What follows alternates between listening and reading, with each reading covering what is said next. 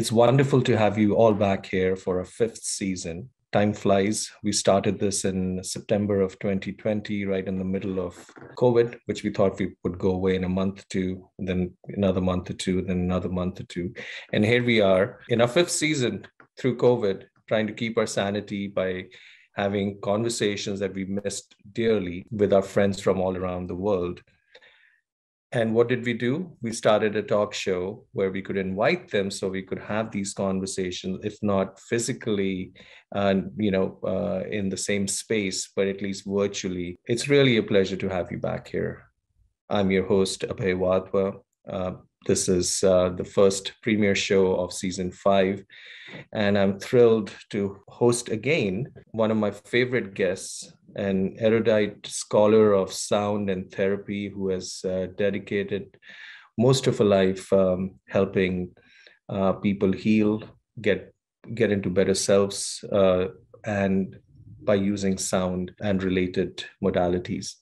Uh, so please join me in welcoming Mandara Cromwell. She's based in Georgia. We would spend the next 50 odd minutes uh, discussing her work and uh, her modalities uh, that she's been utilizing for um, helping people.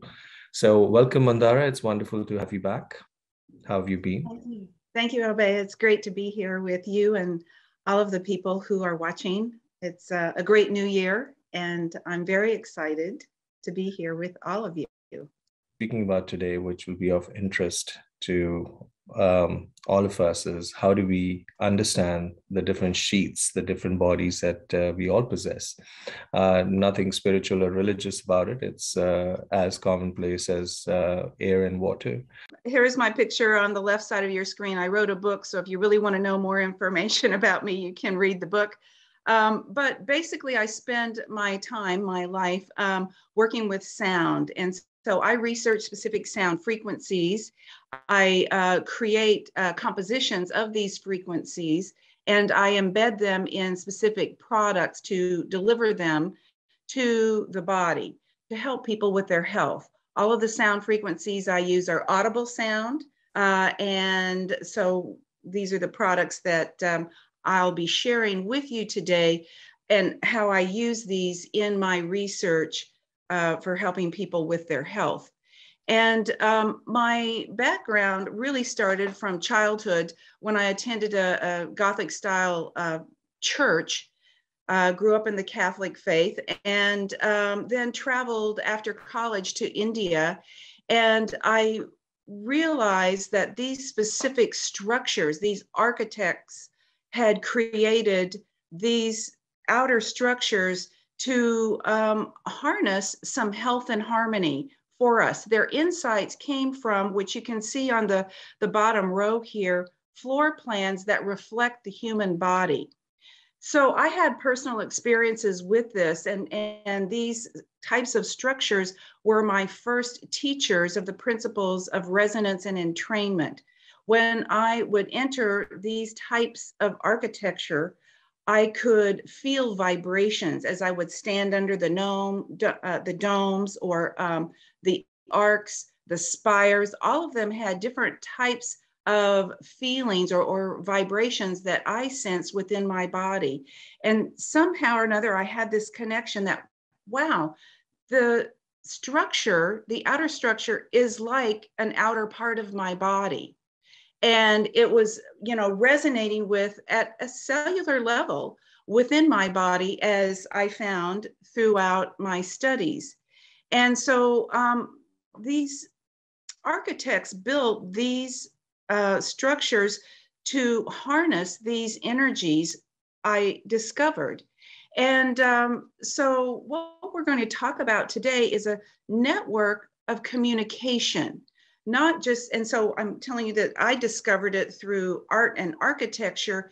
And it led me to believe that when I um, traveled to India and studied Ayurveda and the teachings there, that there is this very definite communication of an inner network that we need to pay attention to. And so these are known as the five sheaths or the five layers of being. We all have them. Um, in the ancient tradition of Ayurveda, they're known as the five koshas, but they're simply put as that we have a physical body and subtle bodies. And researchers today are validating this knowledge. We're finding this everywhere in our science that through these ancient traditions of uh, the Vedic sciences and it, Chinese medicine, these systems that have been around for thousands of years, today science is now validating, maybe in their own vocabulary, but the principle, the concept is the same. And so the researchers today are validating this knowledge of the five layers of being. They are discovering that there's a life force field connecting our physical and subtle bodies. And so I displayed them in an illustration in the right-hand side of your screen in a horizontal fashion. And to the very right, I don't know if you can see the very right uh, side of the screen, but some people um, call this the concept of the nesting dolls, or, you know, as children uh, or as a child, I received a set of Russian dolls that were nesting, fitting one inside the other. And so you can kind of think of uh, this uh, as a visual of these five bodies in that fashion as well. And so in the Vedic tradition, I discovered that each of these bodies resonates with its own sound. That sound is really the thread that uh, links all of these uh, bodies together and, and their great interplay. And so the first body is the physical body. And uh, this is very easy to understand because we all are, are, aware of our physical bodies. The sound that we can relate to with the physical body could be the heartbeat. This is our own internal drum that keeps us at a, a certain uh, a certain beat. The second level, uh, second body is uh, called the vital energy body, and in the Vedic tradition, this is known as the prana body. In the Chinese tradition, this is the chi body, and it's most closely related to our respiratory system, our breath. So the breath of life, you know, we can live without food, we can live without water, we can live without these things for quite a while, but with the breath, we can't live uh, too long without. So this is the vital energy body that really helps to feed the physical body. And the third body is uh, known as our, our mental body. Our thoughts and our emotions are stored here. And you might identify with this if you're if this a whole concept of the five layers of being is very foreign to you. This is where we hear sound. In this body, this is where the senses all come together. Uh, you might find that sometimes you're um, filled with mental chatter. This is what's happening in, in this body. Uh, all of our thoughts and uh, emotions, if you've ever heard the um, um, term of chakras or nadis or the meridian system. This is all coming into play here in this body. So we'll talk more about this in just a little bit. The fourth body is known as the wisdom body. This is our, our higher mind. Uh, you may have experienced this in times of when you've been really quiet or you've gotten into the shower and that great uh, thought, that great idea comes crashing through a, a, solution to a problem. And so this is when we're kind of in that state of being very quiet and there's a little portal that opens up and that thought that um, maybe that idea you're driving in the car and you usually go a certain way, but that day you're guided to take another direction. That's when that inner wisdom, that higher wisdom, that intuition, that creative thought comes to you and says, Hey, I think I'll take this route today. Later, you find out that by taking that route, you avoided a whole pileup or a bunch of construction. So this is where we, we tune into to the higher mind, the intuition, the wisdom body. And then the fifth body, our very highest, most refined body, is called the bliss body or um, the state of higher consciousness. And the sound that we hear here is a very subtle sound. And when people are in deep states of meditation, they connect with the sound here. It's called the sound current. and you've tapped in. So each of these bodies are interpenetrating the other. And there's this common thread of sound. Some of the sounds are very audible in some of these bodies, and some of the sounds are very subtle. But as we go into the finer bodies, that sound is extremely subtle, and we access it by becoming very quiet. And usually, this is, uh, you know, through meditation or some silent contemplation what we have found is that the complete healing, when we're suffering from some illness or injury, that the complete healing takes place when there's coherence of all of these bodies, the physical and the subtle bodies. And in Ayurveda, um, we call the cause of disease is known as the mistake of intellect. The mind and the body lose their connection to the whole. And here I've created some separation within the bodies so that you can begin to visualize possibly what this might look like within your own body as you're not feeling well. Uh, right now, we're in what's usually known as the cold and flu season. And a lot of people are experiencing maybe a little tickle in their throat or a little sore throat or head congestions, uh, those types of things those are the beginnings of signs of, of some weak connection where we need to pay attention to help our body to realign. Um, Ayurveda views disease as an opportunity. We look at this as a little tap on the shoulder, a prompt that says, hey, let's pause here. We're not feeling so well. Let's go take a nap and regroup. And let's use this opportunity to really nurture ourselves. And usually it's a disconnect of the physical body. We've been driving too hard. Hey, let's face it, this is a really fun world to operate in. And sometimes we overdo. We eat too much, we have too much fun, we extend ourselves at work. Our mental um, body is, is really cranking away at solving a problem. And what we want to do is take a step back and say, hey, this is my opportunity to draw within and reconnect our bodies. So Ayurveda says for the complete healing to take place, we must restore the memory of pure consciousness in every cell. So um, let's take a look at Western medicine because uh, a lot of us are familiar with Western medicine. This is how we grew up. And Western medicine focuses only on the physical body. And so if we look at this, this is really only a very small portion of the whole picture. This totally limits the repertoire of solutions that might be out there for us to help us with our illness. And as we tap into the knowledge of the five bodies, the physical and the subtle bodies, we can have a really profound impact on our ability to heal. So what I do is I use sound. I have discovered through my studies in, in Ayurveda and Chinese medicine that sound is a very profound modality to help people. And as I mentioned before, I use specific sound patterns, which um, I call AMI frequency patterning.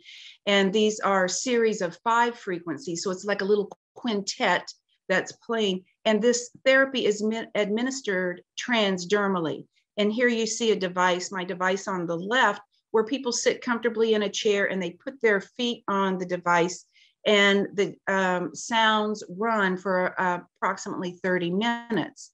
And so this sound is traveling, it's creating this force field all around the bodies. And so the sound is, is connecting to the sound of each of the bodies.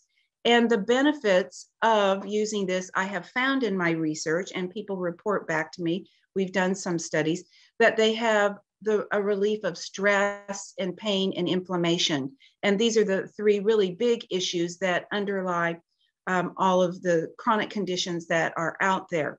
A lot of people uh, experience an increase in vitality for people who've gotten to a place where their physical body is just very uh, disconnected from the other bodies and they aren't having any energy. And uh, we have sounds that help support the uh, body's systems, the cardiovascular, the respiratory, immune, and uh, digestive. So what I want to do is share with you a couple of case studies here today. And um, this is the um, patient Bill who came to us after experiencing heartburn for two years. And I'll show uh, you here his physical effects and then the connection to the other layers of his being.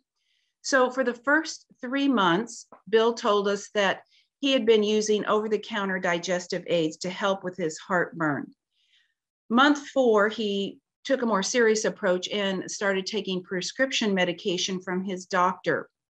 Uh, on month five, he started noticing the onset of some side effects.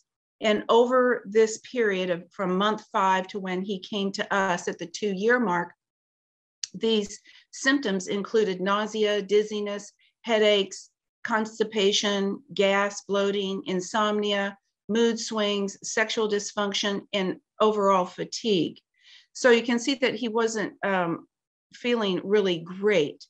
In his work life, we always ask people what's happening in the other parts of your life. In his work life, he said, well, things were uh, kind of stagnant, that things are starting to look a little dismal as far as a promotion. His boss had been coming along previously and uh, giving him a little slap on the back saying, hey, good job. This is really uh, good. You're in the right direction.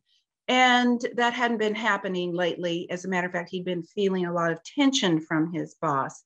He didn't know if that was because of his performance or because of the tension the boss was feeling. It could have been either, but he was missing those nice compliments, those assurances in his personal life, eating out became a nightmare. He just couldn't go out to eat anymore. There was no more getting together with his friends for games and no date night dinners with his girlfriend. It was a real strain on his relationship.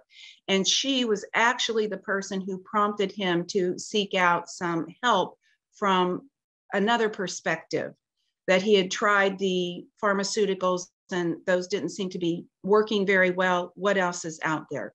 So Bill came to us, and in the intake process, we um, asked, Do you remember your first heartburn experience? And he said, Yes. He ate two chili dogs, they were very spicy, at a ball game. Now, not everybody remembers where their issue first started. But with Bill, he clearly remembered that day was a huge blow up on the inside uh, from these spicy chili dogs. And so then I asked him, Do you enjoy your work? He said, Most of the time. And I said, Do you sit in an office or a car most of the time? And he said, Yes, he sat most of the time at a desk at, in front of his computer. I said, Do you like the people you work with? And he had this distinct tightness in his face that, you know, there was something there. So I went forward and I said, Hey, were there any of the people from work with you at the ball game? And he said, Yes. So the next step, I said, What happened that may have upset you? Now, some people are forthcoming with this information and some people are not because, hey, they've just met us. They don't know us. And, and sometimes when you're in a new situation, you might feel a little vulnerable. But in this case, Bill confessed, he said, Yeah, there were two guys from work and one childhood friend who joined him at the game. And he said, You know, guys razz each other. In this case, his childhood friend had brought up an embarrassing situation that Bill thought his friend would keep private.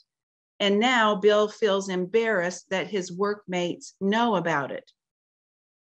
So embarrassment is a, is a little key here. There's probably some other issues going on too, but basically embarrassment is the shame or guilt you feel when an inadequacy is made public.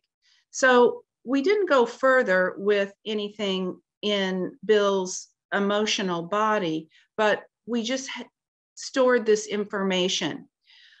Here in the five layers of being, we see that Bill, I've colored him red because there's a lot of fire in his digestive tract. He's very annoyed here, and all, with all of the symptoms that he's uh, experiencing here, this is clear digestive distress. And in Ayurveda, we look at uh, the symptom of the stomach, you know, all, all um, uh, disturbances begin in the digestive process. We're not digesting properly. We're not, he's having an inability to even think about uh, his thoughts and emotions or anything else in his life. In his vital energy body, the prana, the chi, the respiratory system, where this wonderful air, this, this enlivening force field that really needs to um, support the physical body is collapsed. When we sit all day when we sit and you know it's our sedentary lifestyles that we um, are are experiencing today that we're all kind of hunched over. All of these um, inner organs are being crunched and the air is not circulating. The blood is not circulating very well and so we've we've closed down that body. We've diminished the connection there to that body. His thoughts and his and his emotions, he's got this constant self-talk, this chatter of negative thoughts of his embarrassing situation. Um, maybe it's not specifically about that situation, but he's something is eating at him, so to speak. And this is resulting in his um, irritable behavior in his relationships at work, in his relationships uh, in his personal life, particularly with his girlfriend. So all of this, all of these things are, are happening, this interplay, and he has very little connection to that higher mind, who is that intuitive process. The girlfriend, however, has pushed him to this in the sense that she said, Hey, maybe there's something outside of the box that we're not looking at and you know the weak has a very weak connection with his bliss body. He's not feeling in the groove at all uh, in sync with with anything.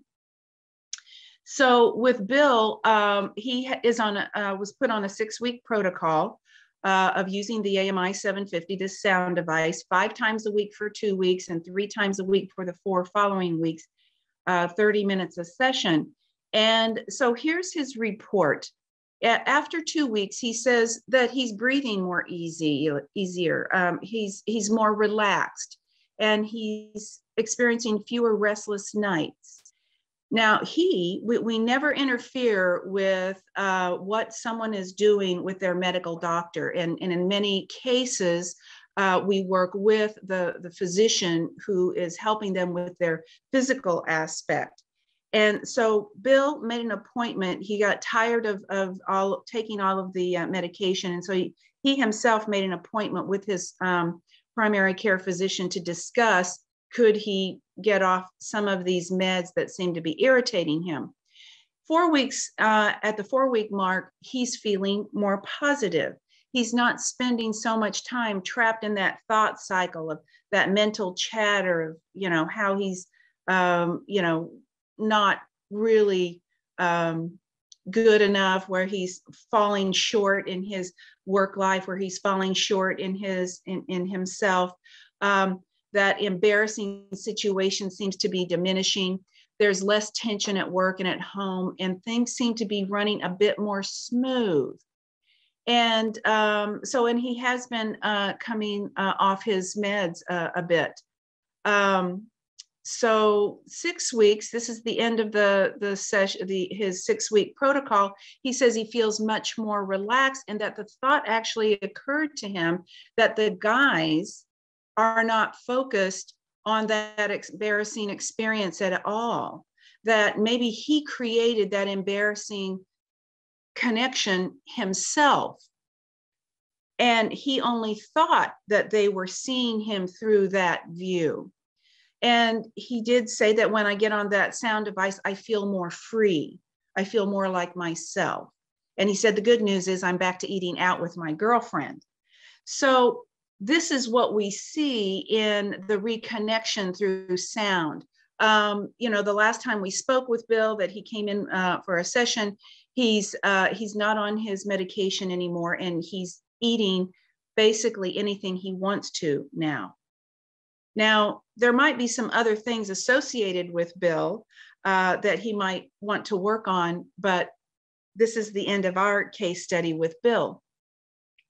So at the two week mark, um, I use a device called the Veda Pulse uh, device, which is a, a, computerized device to help track.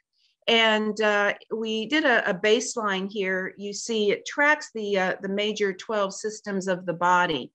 And I don't know if you can see to the right side of your screen that the legend is is that red is high tension, and green is balance, and yellow means there's a, a, depletion, there's a deficiency there in that system. And so right here we see his liver has is firing some red. Uh, this is not a surprise to us because in Ayurveda and Chinese medicine, the liver is the or, organ that um, harbors, that stores our, our anger and our frustration. And so to bring that into uh, a coherence, you see in just two weeks, um, the green is is what we want to see, and, and that was really wonderful. It just shows us that we have another backup system that uh, we're on the right track. Of course, we had uh, that there's no greater uh, confirmation than the patient's personal experience uh, sharing of, of, of, you know the better sleep and the ease and tension. So um, what I say is that we restored Bill's con- communication network. That, uh, and, and I'd like to say that uh, if, if you could think about this in the greater concept of the temples, the outer bodies of those structures that harness that energy, help us to harness the um, coherence of our, our five bodies, our physical body and the four subtle bodies that our bodies begin to recognize these patterns. And that's what I believe is happening here in the communication network that we work with. And, you know, we all have these experiences of, like Bill, embarrassment, of um, feeling guilt or shame or not good enough. The key is, is we don't want that to get stuck. We don't want to, that to get rooted and that it's not moving, that the energy is not moving. And, and the sound has this ability to kind of unstick these uh, emotions that need help. They need a little bit of help to gently move on through. So, um, before I move on to talk to you about uh, George and, and uh, his prostate cancer and get into the whole idea of uh, what's happening, the architecture of, of those cells. I have people all the time that ask me, what will sound do for you fill in the blank? For their injury, for their cancer, for their autoimmune system, for their mother's dementia, their father's uh, Parkinson's, you know, what will sound do for this? And so I want to make it clear that my belief is that sound is the foundational fiber in our inner network. I am sharing this information with you um, from my perspective. My goal in this presentation is to introduce you to the body's communication system known as the five layers of being or the five sheaths.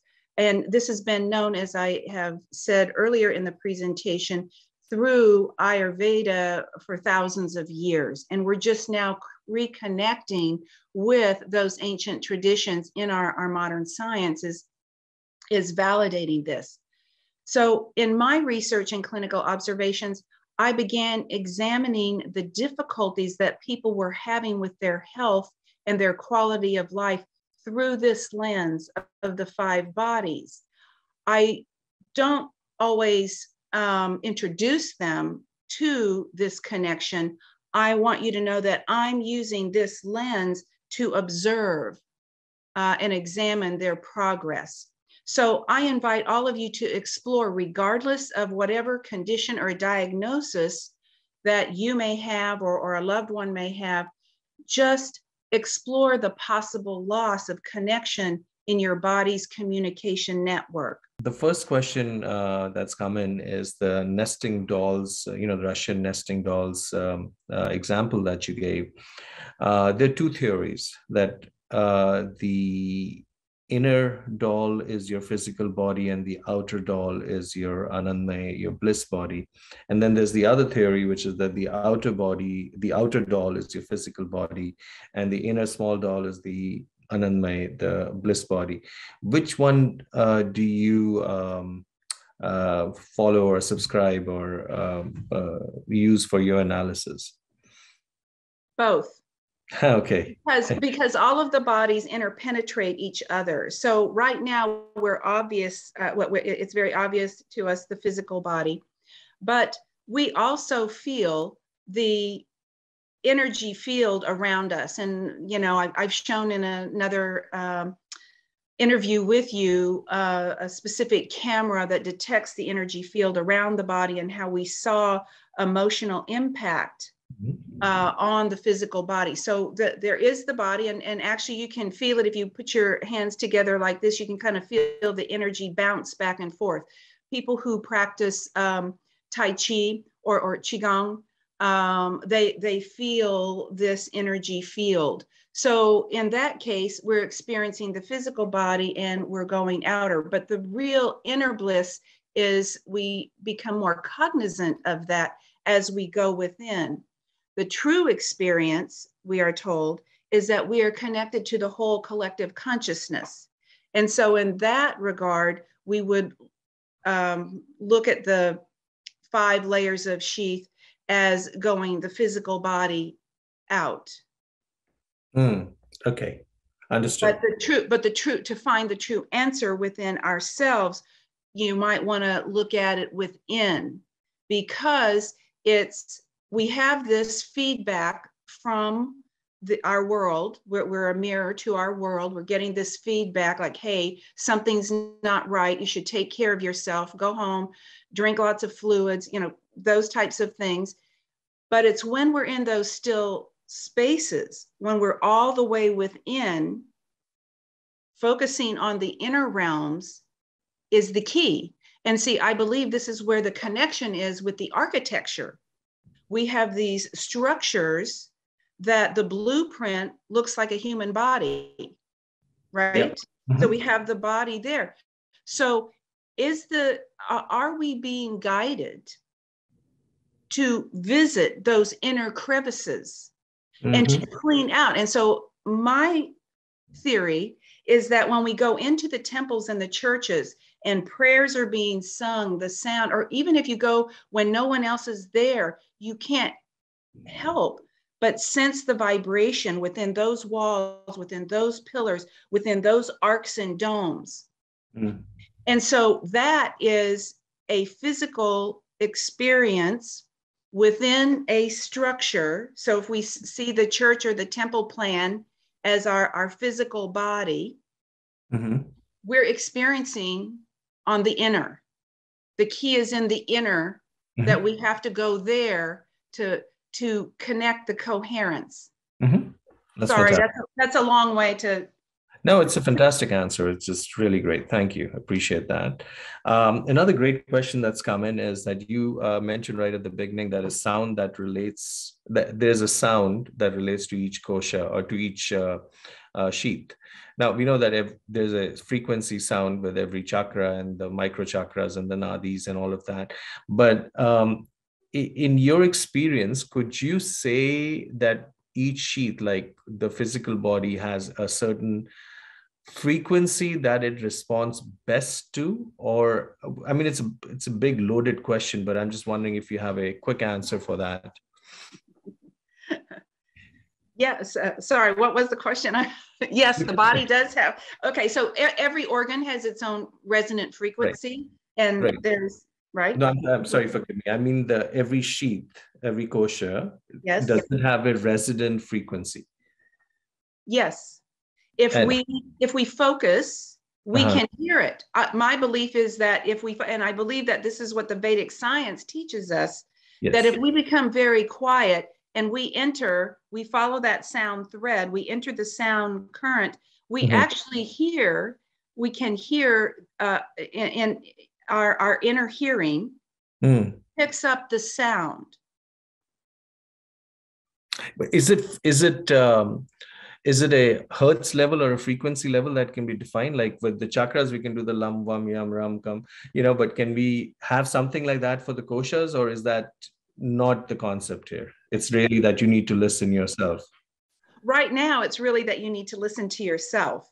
Okay. that has been the key. And that is why in um, you know when if you uh, go to a ayurveda practitioner they might give you a mantra or a sound or a toning. Some uh, shamans will give you uh, a tone. Mm. you know we mm-hmm. have lots of studies of, of people who sing in choirs and conductors and how they have health and longevity because of these sounds. And so they're hit, hitting what we call a sweep, a, a, a frequency range. But you're ask, I think what you're asking me is, can I go to the piano and hit this note and that resonates with the the the physical co- uh, the um, um, Anandamaya Kosha. Maya Kosha or, or the Manomaya Kosha or the Anandamaya Kosha. So no. well, okay, so you are so typical. See, you know, everybody wants the shortcut.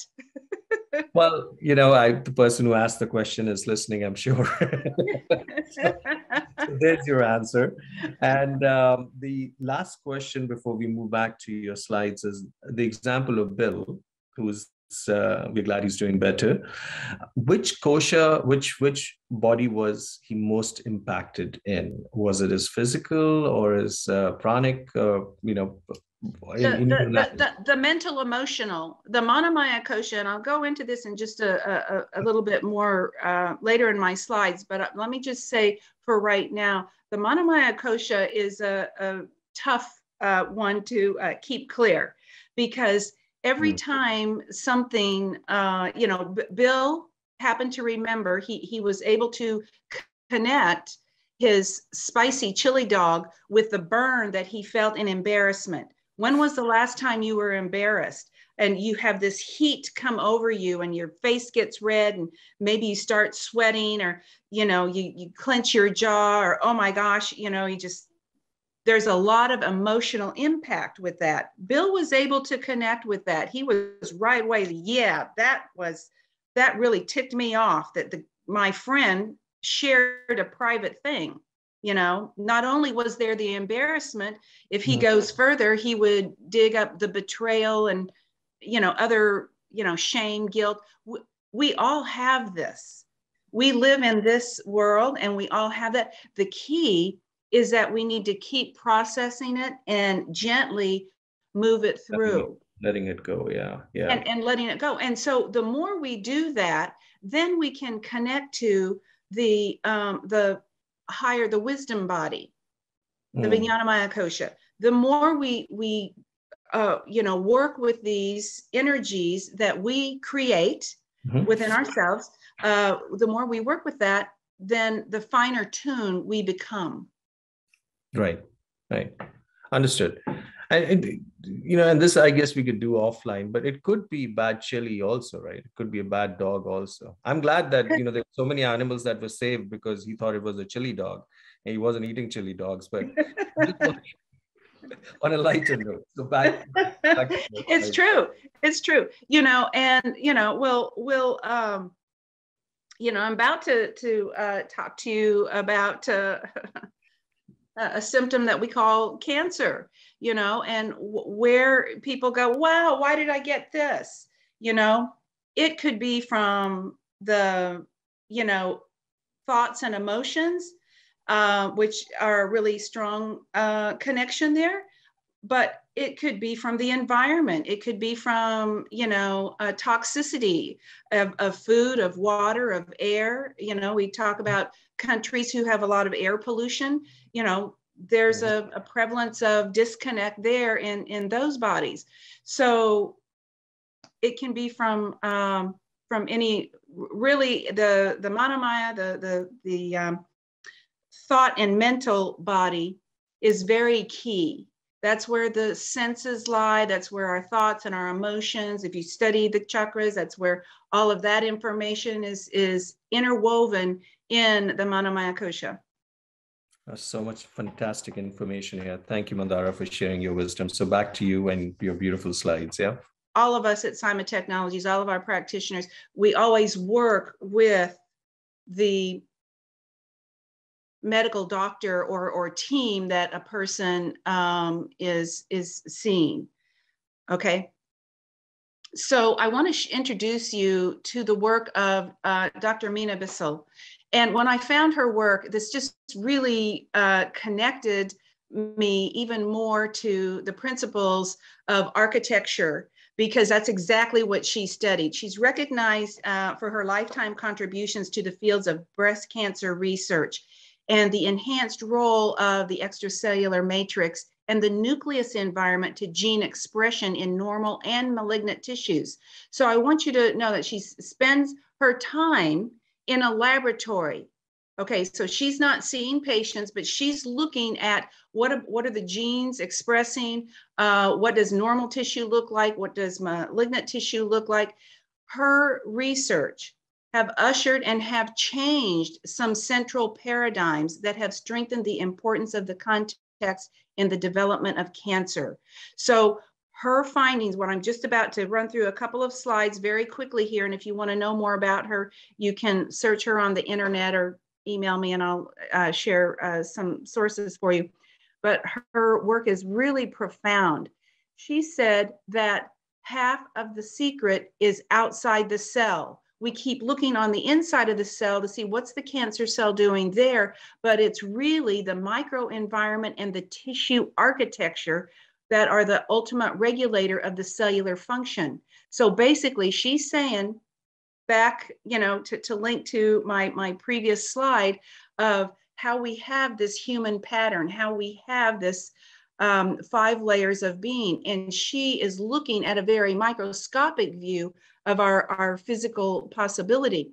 So here she's looking at the tissue architecture on the left side of your screen, you see a normal cell, and then you see the malignant cells.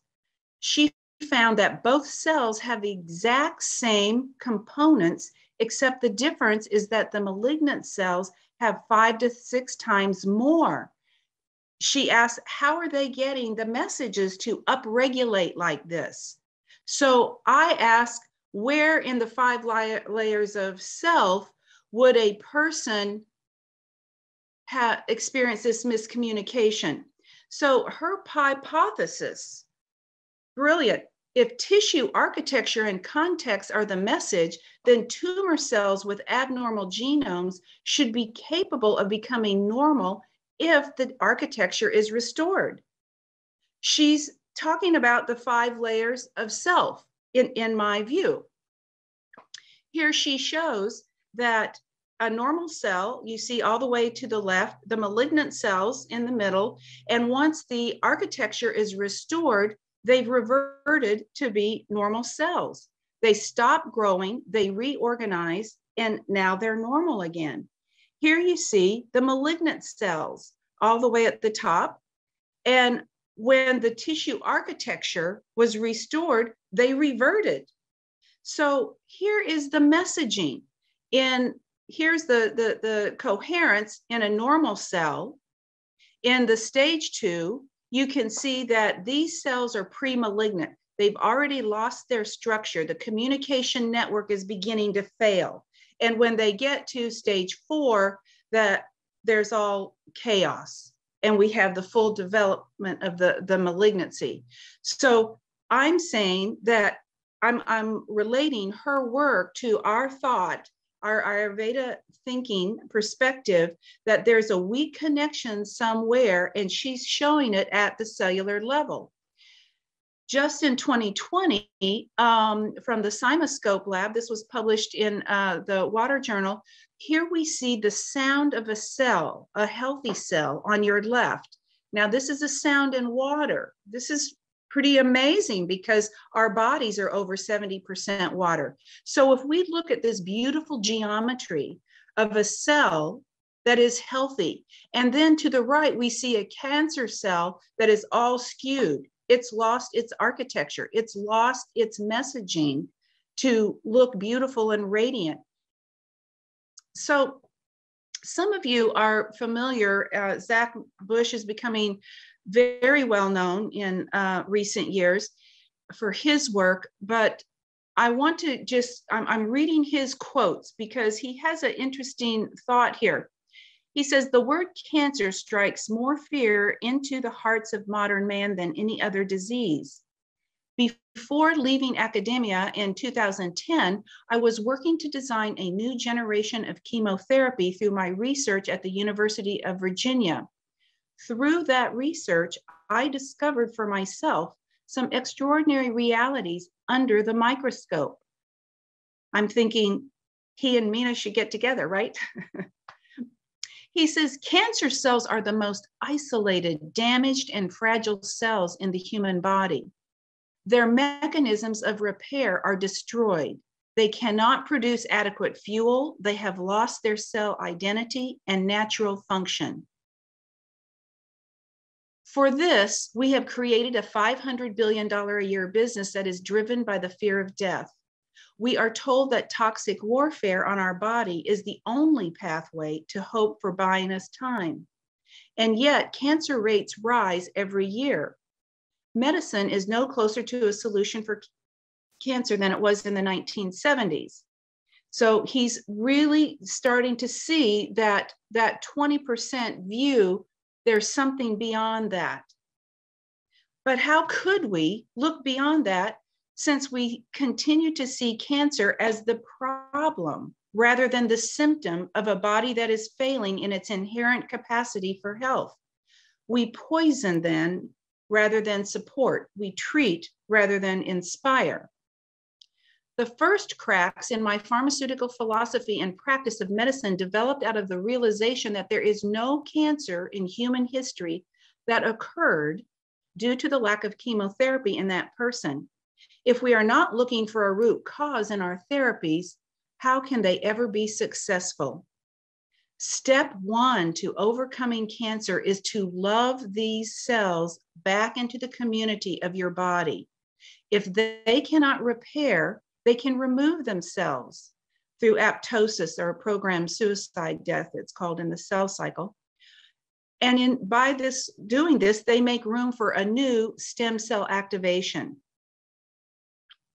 We are often removing cancer cells naturally from our body throughout life, not until our avenues of communication and metabolism are profoundly disrupted, does cancer become a clinical problem for our bodies to handle. Cancer is just the symptom. So, just before this, I mentioned that you know there could be a breakdown anywhere. It could be in the environment from an environmental toxin. It could be from a thought process. We see a lot in our um, in my research of uh, women who were experiencing breast cancer and the thermal images, we saw that as soon as the sound began to shift and diminish their inflammation, that there was a new connectivity and their cancer markers went down.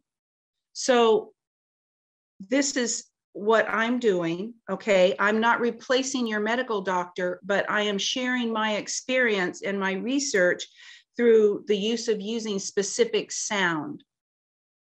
So, excuse me, here's a inflammation is known as one of the key factors in chronic disease.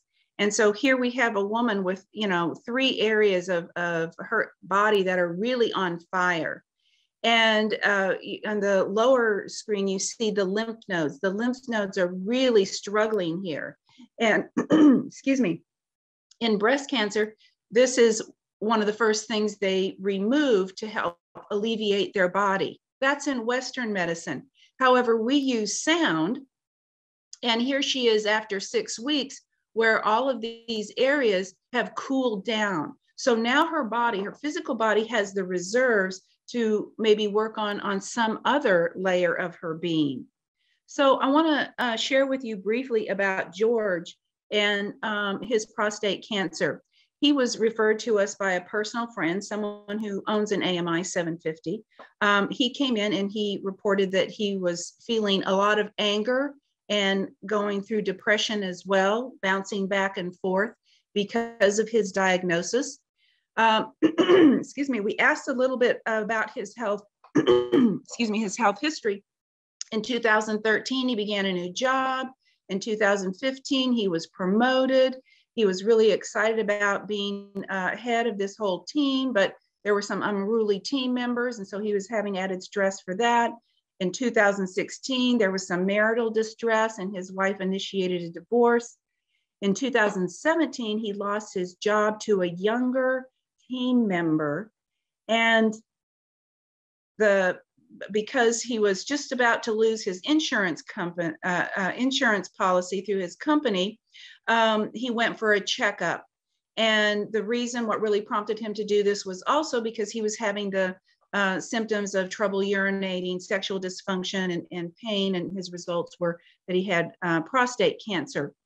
So George uh, confided that he stopped exercising and he began drinking to be able to cope with this stress and that he bounces between anger and depression. He has no energy. He's you know fatigued all the time. And he's feeling pretty angry at being abandoned by his family and the people in his life. So when we look at George in his uh, physical body, again, I've colored him red because inflammation is very fiery.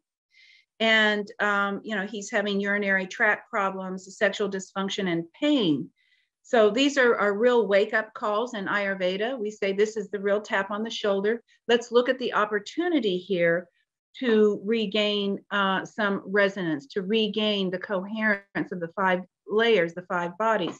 In his vital energy body he's cutting off some uh, vitality here uh, he's not really supporting himself by the, the drinking and the lack of exercising. And I totally understand that he doesn't feel like it. And this is a coping mechanism. And you know what? It's okay because this is this is how he's coping. However, when we look at the five layers, uh, he's leaking here. This is not really helping him. It's actually depleting him. Um, he's got a lot of chatter of the negative thoughts of um, you know, he lost his identity. He's no longer good enough to work at the company. Some younger guy has come in and taken his place. Uh, there's a lot of things going on here. His wife has left him. He's not worthy to be loved. A lot of things. And, um, you know, he's because of this, he's been abandoned uh, by his body and he and his family. So there's a lot of chatter going on. And so in Ayurveda, we would say because of his weak connection, maybe he, um, if he was seen an Ayurveda practitioner, which in this case he was not, um, he would um, begin um, maybe some breathing exercises and maybe some singing or chanting or, or prayers to, you know, get that energy, that vitality body moving. And then, of course, he's, um, you know, really feeling a loss of connection in his bliss body. So this is his program.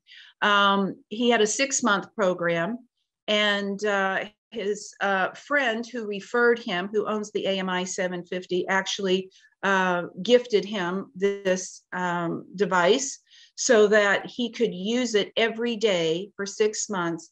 His commitment was that he had to use it twice a day. So he had to sit quietly. There was no multitasking. He couldn't be on digital media. He couldn't do, he just needed to sit quietly. So this is the commitment. We um, asked him to imprint water for drinking, and I'll show you a slide in just a minute how we do that. And um, we asked him to do our sound flower experience meditation, which is just a short seven minute meditation um, to do it one or two times a day. And we asked him if he would um, work on doing some affirmations and intentions and keep a journal, which is part of our Soundflower Experience more intensive program. Um, but for the Soundflower Experience, we can you can just watch it um, anytime. So here you can see people sitting comfortably on a chair with their feet on the device, and he would do this for 30 minutes um, then to imprint the water, you see the person here with a glass of water. She's imprinting the water at the very same time she's having her session. We recommend that you um, drink that water throughout the day to help support your body. Remember, your body is over 70% water, so we really want to support in that way. With the Soundflower experience, uh, just a brief description of what that is. Um, I take the uh, five frequencies that are emitted from the AMI 750, a very specific set of five frequencies to help support the vital energy body. And so these uh, sounds are made visible through the CymaScope. And I have layered the um, symbols, the geometries in a specific form for this meditation. And so the meditation is just a seven minute meditation that anybody can do. It's really great for people who say that they don't have time to meditate or they don't know how to meditate. So this was all part of George's um, process. Now, part of the Soundflower Experience Intensive program, we have some requirements to uh, make this, uh, you know, we want to set ourselves up for success. So what we ask him, uh, ask everybody to do who wants to uh, really immerse themselves in like a 21 day program is to, journal. And by journaling, the benefits of this is that we get to watch our thoughts. And at first, um, George was pretty resistant to this. He was kind of angry that he had to do this. And, but he said that by the end of the month, he kind of surrendered to the exercise. In the second month, he made some positive changes to his diet and he was drinking less. He um, said that feelings were coming up of how he was wronged throughout his childhood, throughout his workplace, throughout his um, college years, throughout his uh, adult life. He was having an identity crisis, that all these thoughts were round and round and round, and he was physically and mentally exhausted. And at the end of the second month, he said either these thoughts were having a less charge or he was just plain worn out from them. but uh, interesting. The third month, he reports that he has more energy, that he had been invited to a Tai Chi practice and he was connecting more with his breath. And he started to feel that the breath was actually helping to clean him out. And he began reading more philosophical books. Um, right here, I want to interject that George, though he had a Western medical doctor, he had chosen the route of uh, his primary physician of a Oriental medical doctor who, and so he was doing some Chinese herbs along with the sound program. And then he would get his um, cancer markers checked uh, periodically. So I, I, just wanted you to know that he's not totally uh, just under our care. He's, um, you know, working with uh, another person uh, who's who's the main charge cruise director. Um, so the fourth month, he says he's feeling more energy. He volunteered for a veterans program, and he's made new friends in a supportive community. So we see that the ship is kind of turning around. We see this reconnection happening where he becomes more of his whole person again. It might be a new uh, person that he's just now meeting within himself because the fifth month he's having new ideas and he's creating a new business. And the sixth month he actually creates a whole new business. His friends comment that George is a changed person. His children even like being with him. His daughter says that he's less angry and more fun to be with. So there's a whole, you know, I'm just giving you the snippets of this case so you can see the, the reconnection. What I'd like to connect here, which I think relates to the earlier question, that in Ayurveda science, the experiences of trauma and fear are imprinted onto the fatty myelin sheaths of the brain.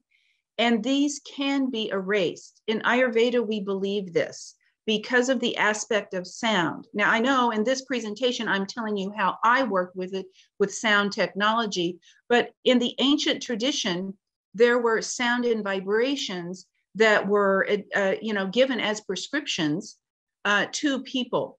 And um, that in, uh, we can erase these these these impressions uh, these unwanted impressions of trauma and fear can be relate, uh, erased as we reconnect to our finer bodies.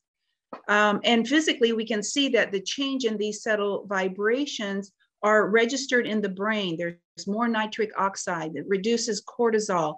And you know there's over a thousand published papers in today's journals uh, showing the benefits of, of meditation and how being calm is so uh, benefic- uh, beneficial.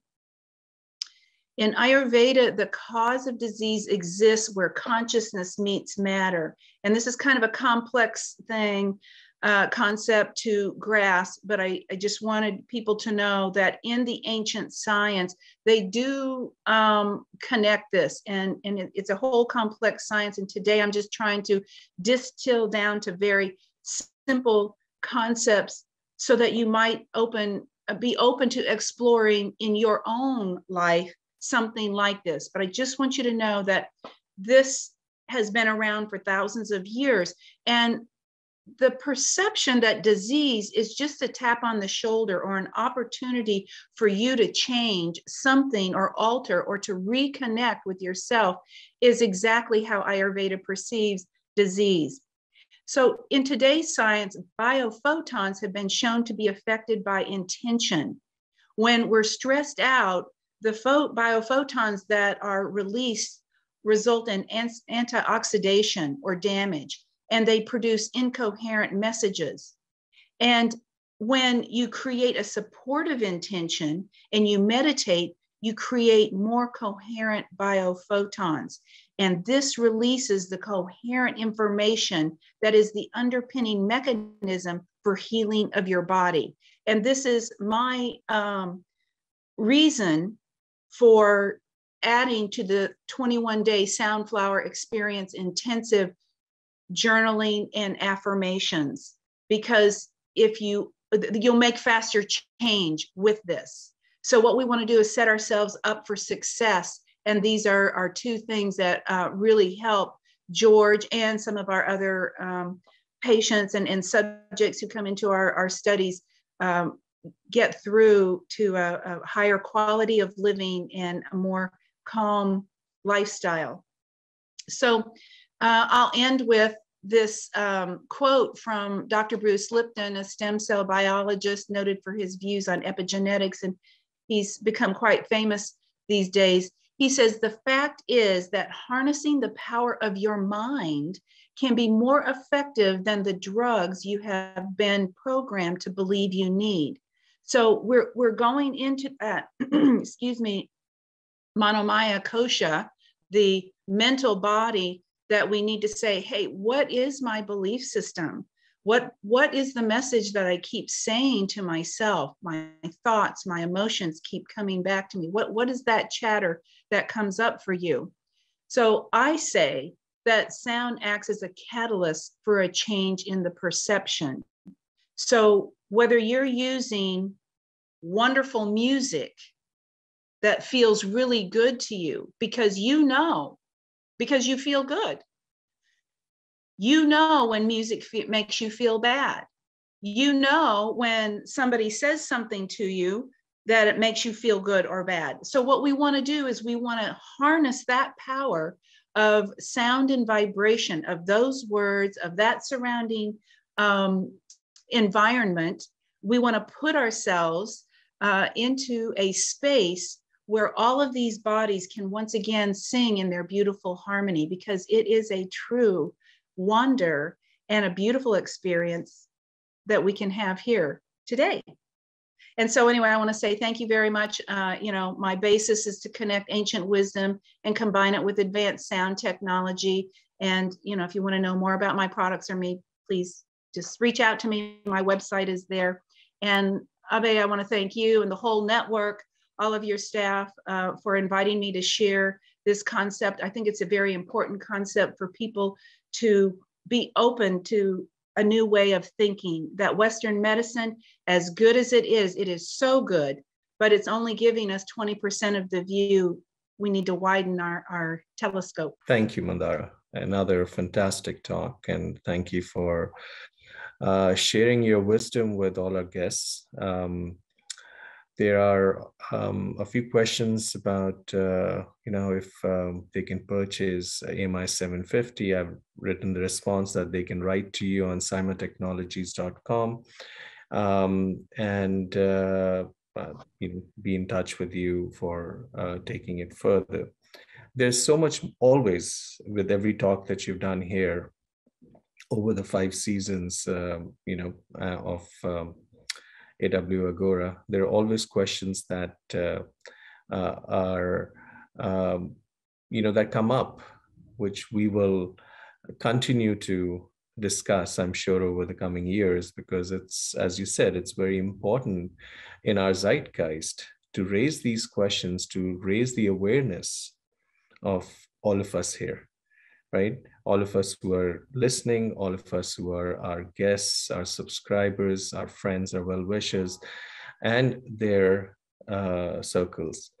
So I'm very thankful to you again, Mandara, for doing this. And I'm also thankful to um, the AW Agora team, the producers led by Justin Mensch, and our collaborators in this, our sister company, which is Soul Studio.